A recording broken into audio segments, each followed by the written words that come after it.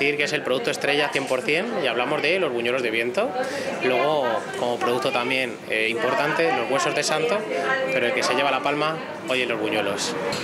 Hoy tranquilamente pueden pasar entre 800 y 1000 personas requiriendo buñuelos. O sea, nosotros estimamos una venta propia de unos 500-600 kilos de buñuelos tranquilamente, 120 kilos, 140 kilos de huesos de santo y a nivel global de la Comunidad de Madrid, todo el gremio de pastelería se venden 350.000 kilos de buñuelos.